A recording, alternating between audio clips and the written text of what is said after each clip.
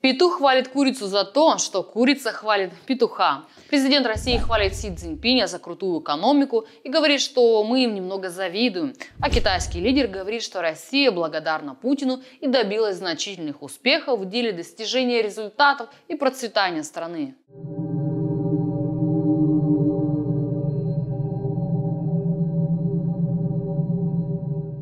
Какое значение имеет визит Си в Россию от 20 марта в ходе первого международного визита с момента переизбрания его на третий срок? Это видео лучше смотреть без звука и слушать, что говорит язык тела. Президент Китая восседает на стуле уверенно, как король лев на престоле. Си полностью заполняет собой пространство стула, повторяя его очертания. Ноги прямые, руки на подлокотниках. Это поза уверенного в себе лидера, который как идеальный газ заполнил все пространство. У президента России более суетливые, быстрые движения. Свой стул он приподнял и аж представил ближе к э, китайскому лидеру. Колени и локти были направлены в сторону китайского гостя. Корпус подан вперед. Носок левой ноги описывает окружности. Все о фигуре президента указывает на человека, которому больше надо, который больше заинтересован во встрече, который чувствует себя ниже по статусу и стремится не пропустить ни слова собеседника. Для Путина визит Си Цзиньпиня имеет важнейшее репутационное значение как на внешней арене, так и на внутренней. После решения Гаагского суда он потерял внешнеполитическую легитимность и стал изгоем.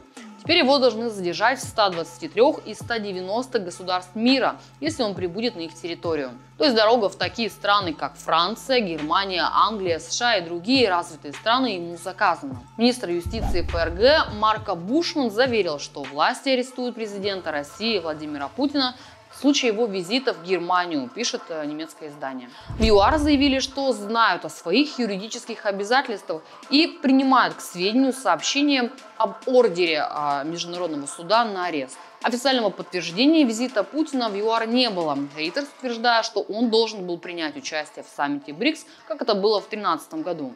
Можно сколь угодно долго принижать и не признавать какое-то там решение какого-то международного суда, которое, как говорит Песков, абсурдное и ничтожно с точки зрения права. Можно, конечно, обвинить суд в ответ, мол, сам дурак, или организовать по-быстрому искренний народный флешмоб с хэштегом «Я Путин». Сейчас мы все Путин. А, такие фото в провластном ВКонтакте публикуют в основном чиновники и активисты молодой гвардии Единой России. Однако нахождение в одном списке с Каддафи или другими ранее обвиняемыми Международным судом президентом Судана Амар Аль-Баширом не добавляет блеска или хорошей репутации президенту. Именно поэтому личный визит главы ядерной державы как манна небесная и глоток свежего воздуха. Он имеет огромное символическое и репутационное значение. Это повышает самооценку Путина и доказывает ему, что еще не все потеряно. Свой интерес в этом жесте есть и у Си. Показать, что Китай не только великая экономическая ядерная держава, но и великая международная сила. Показать, что не то, что США, весь мир ему не указ. Вот такая некая ответочка Пелоси за визит в Тайвань. Ну, пока дальше символизма и слов восхищения о том, как президент России управляет своей страной, не пошло.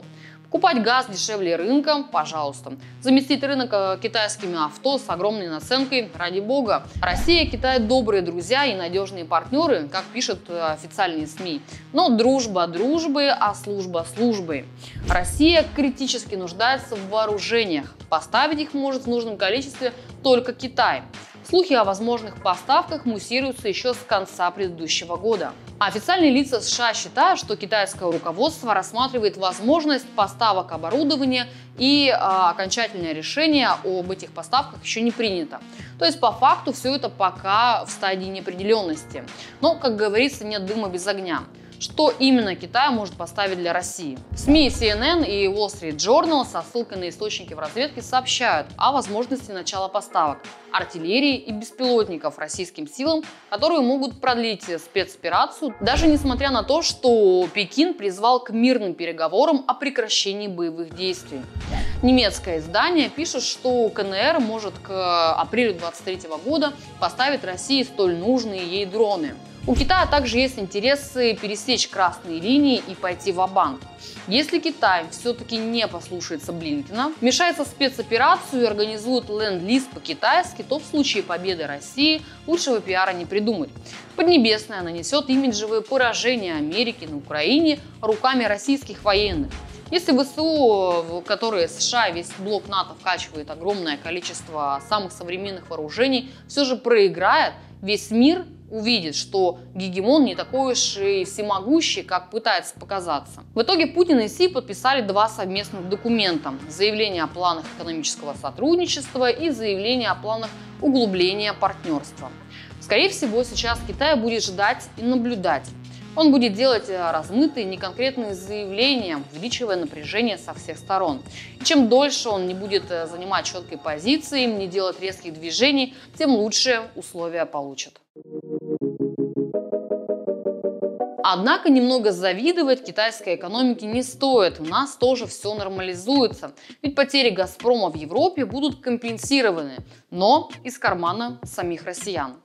Госдуме предложили изменить тарифы на газ из-за потерь «Газпрома» в Евросоюзе. «Газпром» заработал на европейском рынке в несколько раз больше, чем на внутренних, при сравнимых объемах поставок.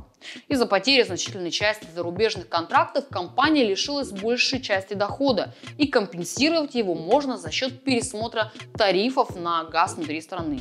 Иными словами, из-за санкций мы больше не можем продавать углеводороды Европе, как раньше. И потери «Газпрома» превысили 40 миллиардов долларов в год. Это огромные деньги. Чтобы компенсировать это падение доходов э, газа внутри страны, нужно продавать 4 раза больше. Но что-то подсказывает, что не стоит ждать массовой газификации отдаленных регионов России или, к примеру, Красноярска, города-миллионника, который до сих пор толком не газифицирован. А деньги в казну пойдут за счет увеличения внутренних цен на газ. По неофициальным данным, каждому россиянину это обойдется 22 тысячи рублей в год. Забавно, что в Ленте эта новость стоит э, после новости о списании долгов в Африке. Так что вслед за увеличением тарифов на капитальный ремонт в квитанции можно ждать еще один приятный в кавычках сюрприз. Вроде подобный сценарий с газом должен был быть в Европе, а не в нефтегазовой сверхдержаве. Но санкции нам только на пользу, просто нужно немного потерпеть. Родные мои, понимаю, как вам нелегко, но сейчас нужно еще потерпеть. Повторяй это три раза в день, и твои скрепы никогда не ослабнут. Да бегут от лица его ненавидящие его. Яко исчезает дым, да исчезнут. Яко тает воск от лица так это погибнут беси от лица любящих Бога и знаменующихся крестным знаменем. И веселье глаголющих, радуйся, причастный, животворящий кресте Господень. Помогай мне со святой госпожой. Девой Богородицы, со всеми святыми. Аминь, аминь, аминь. Каталажку за внимашку в Ижевске полиции удалось задержать опасного преступника, который написал на плакате «Обними меня, если против спецоперации». Парень простоял совсем недолго, но успел насобирать много обнимашек. Через некоторое время его задержали. Интересно, а что было бы, если бы на плакате было написано не «обними меня, если против спецоперации», а «задержи меня, если против спецоперации». Лично я всех вас обнимаю. Также задержали его питерского коллегу, который стоял у здания Эрмитажа с плакатом, на котором было написано «Давайте жить дружно». Оно и понятно, кот Леопольд тот еще экстремист, а его призывы жить дружно ультрарадикальные. Это вам не чебурашка. Black Lives Matters. Полицейские чуть не задушили жителя Саратовской области на глазах у его несовершеннолетнего сына. Силовики попытались задержать жителя села Красный Куд Андрея Бабакова после того, как заметили его на мотоцикле. Полицейским показалось, что он якобы пьян, едет без шлема и номеров, пишет «Осторожно новости». Его сын утверждает, что отец был трезвый и даже не ехал на мотоцикле. Мужчина начал сопротивляться, его стали душить. Один из инспекторов сказал, ты сядешь. В результате Бабаков потерял сознание, полицейским пришлось вызывать скорую. Мужчину еле откачали в больницу.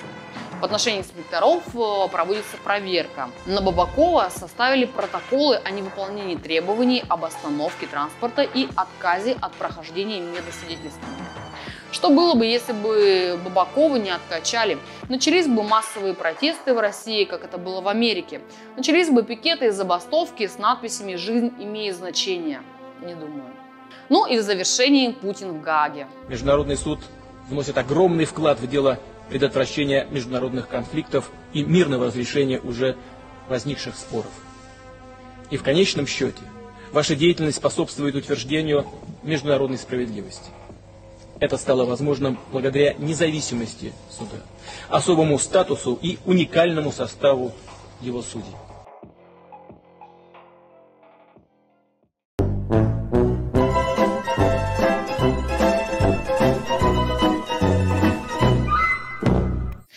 Были все новости моего мира сегодня. Увидимся.